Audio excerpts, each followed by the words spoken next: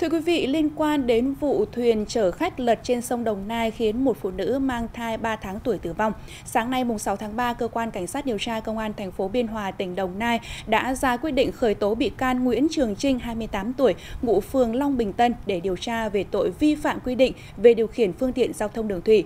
Trinh là thuyền trưởng chở khách.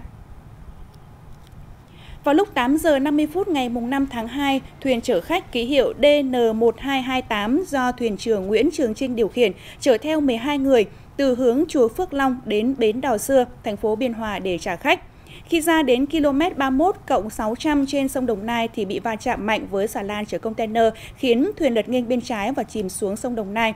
Toàn bộ người trên thuyền rơi xuống sông, trong đó chị Nguyễn Thị Hương 32 tuổi đang mang thai 3 tháng không may tử vong do đuối nước. Theo một số nhân chứng trên thuyền, chính lái thuyền chở khách điều khiển chạy ẩu. Xà lan di chuyển chậm thì chuyên chở khách đâm vào khiến lật chìm xuống sông. Hiện vụ án đang được tiếp tục điều tra làm rõ.